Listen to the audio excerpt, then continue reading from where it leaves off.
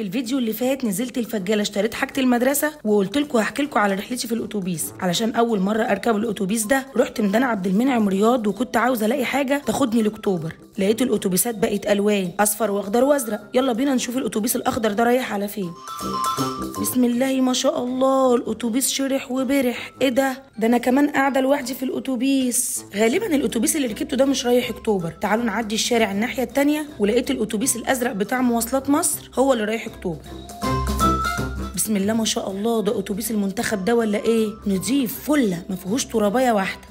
إيه ده؟ لقيت وصلة USB اشحن بيها الموبايل. يلا نرغي ونتسلى في الطريق بقى.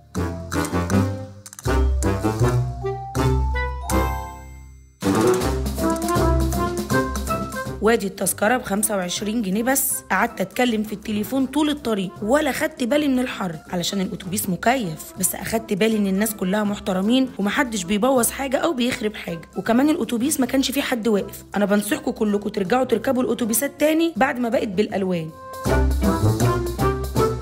وأنا عرفت لو أنا معايا الكارت بتاع مواصلاتي المواصلات كلها هتبقى بسعر أقل. يلا باي باي.